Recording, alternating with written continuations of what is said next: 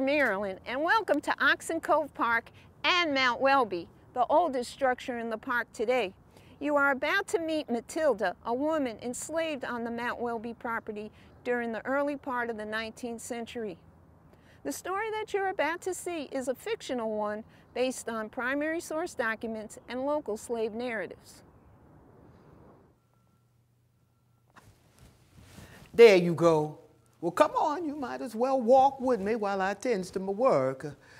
Mistress de Butts don't like her slaves sitting around idle. Eh, well, Master John Henry, he's better than most of the masters on the other farms, but he don't like no wool gathering either. You know, my mama, she, she taught me how to quilt. I remember she would sit right there in that chair, looking out that window, singing her favorite song. Swing low, sweet chariot, coming for to carry me home. Swing low, sweet chariot, coming for to carry me home. You know, Mama told me that Mistress said that when she died, she would put in her will that Mama and I be set free. But then came that dreadful sickness over the farm. Mama died that winter because of that sickness. Mama used to take care of the, main house and, and also the personal needs of the mistress. So I would, well, I'd watch her, watched everything she did, so I was able to take over her responsibilities. I would sit there as a youngin' and listening to all the stories Mama used to tell about before she come to this place. Stories her mama told her, her mama's mama told her. well, come on, you better wrap up some, because it's, it's chilly out there. We've had a hard winter this year.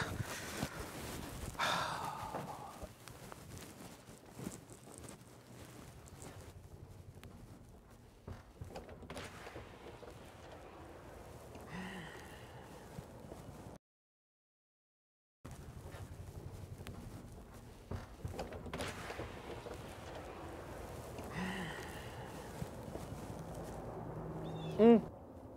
You know, there's still some mornings when I look out at that water, I remembers back to the war. That was the, the summer before Master de Butts died in 1814. oh, we could hear the, the fine of the, of them cannons and, and them rockets fine.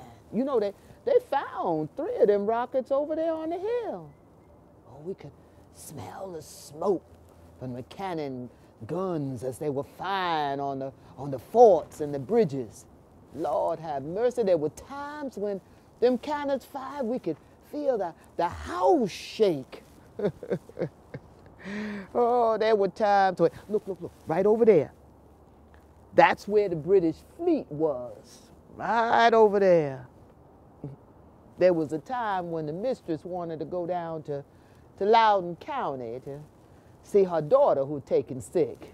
And Mr. Delaney, her husband, well, he went off to fight the enemy.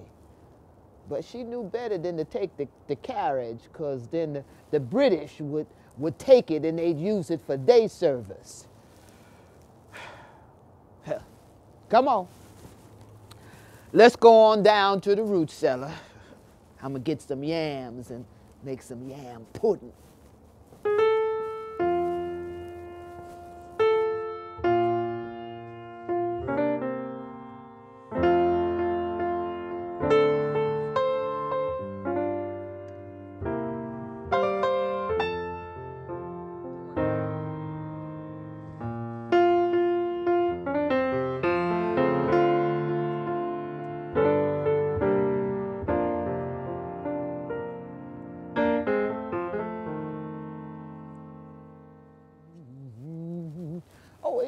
Might as well wait right here. Rachel said she was gonna lay the yams out on the table, so I'll just gather them up and be right on out. Mm-hmm.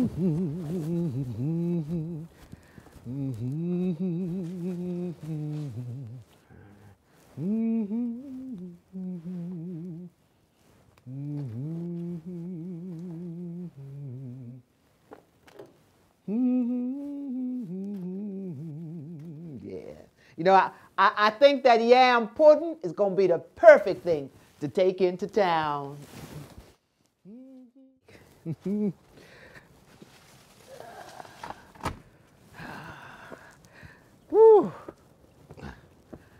Now we got to go over to the stables and, and see if Mr. Paul has got the carriage ready for the mistress.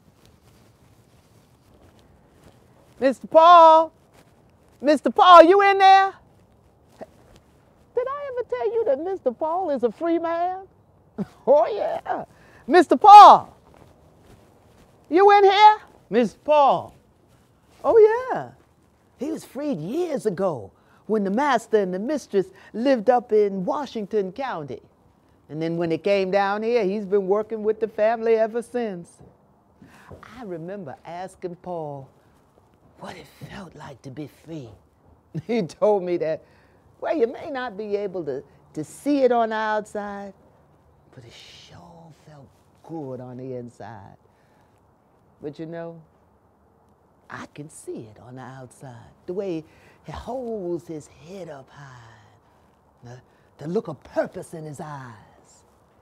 Yeah, I can see the free man in him. oh, there you go, Mr. Paul. Now, girl, I want you to remember these stories that I tell you.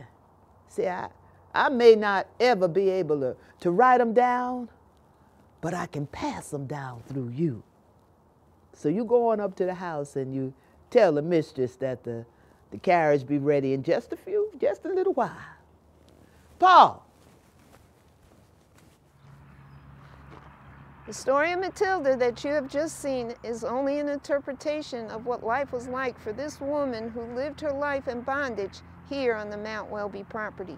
The story was created using slave narratives and primary source documents from the Mount Welby period of the park's history. These primary source records are written from the perspective of white society. In fact, the only reference we have of Matilda is a few chilling words taken from her owner's property list. Patsy and Matilda value $350. Now that you have experienced Matilda's story, it's time for you to create your own.